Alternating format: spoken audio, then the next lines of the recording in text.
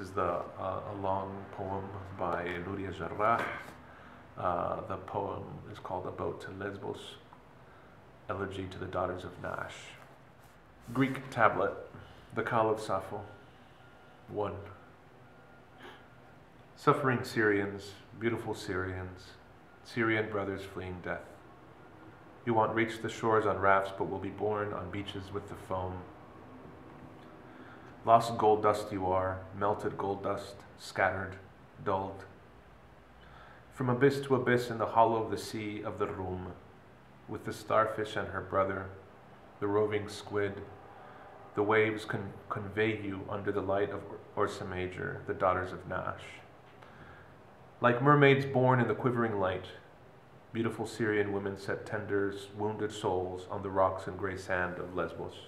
رأيت البرق شرقيا ولاح في لمح وكان غربيا. رأيت الشمس في دمها مبلولة والبحر مضطربا والأمس منهوبا من الكتب. أيها السوريون السوريون الأليمون السوريون الوسيمون السوريون الأشقاء الهاربون من الموت أنتم لا تصلون بالقوارب ولكنكم تولدون على الشواطئ مع الزبد تبر هالك أنتم Uh, my name is Camilo Gomez Rivas.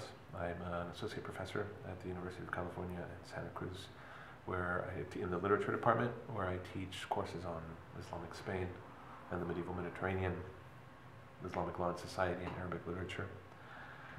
Uh, I have been translating for Banipal since 2000, um, and I've been translating Arabic literature since around then as well. And, and I have kind of specialized in poetry. Academically, I've specialized in law, medieval legal texts, and uh, in as far as translating literature, I've, I've I've done some prose, but I've I've specialized in poetry, and both of these. I mean, both of these are very important, arguably very important forms of texts in, in Arabic uh, culture, historically. So I think that's that's one of the reasons why. Another one is I, I've I feel they're under underrepresented, or poetry has been underrepresented in translation, and it poses a particular challenge. And of course, it's very economical.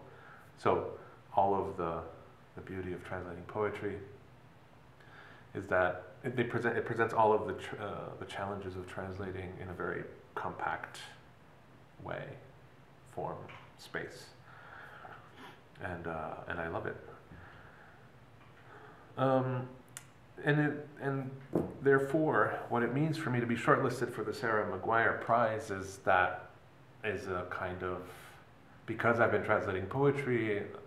Yeah, one doesn't get as much attention as when you're translating uh, prose, and so so it's a real it's a real honor and a real yeah a real pleasure. And. Um, it feels really good to, to be recognized and for poetry to be recognized and for poetry translation that kind of work to be recognized. I'm very excited about it and i really appreciate the, the opportunity to, to also to reappear in, a, in an anthology.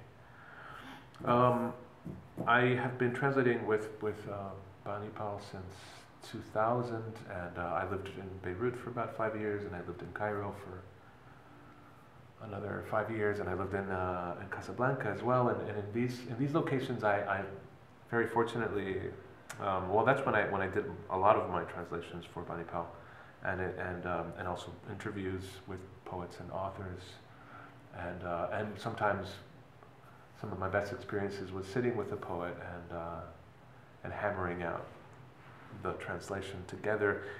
But since I moved, uh, I moved to Santa Cruz, California in 2014, and since then I, I have to, I'm at a remove. Um, although this work of uh, by Nouri Al-Jarrah has been a longer has been a longer process. So of course I, I know him through Banipal through through the editors, um, and we did not we did not correspond a lot. Here is what I had was a lot of time to to sit and think over over the work.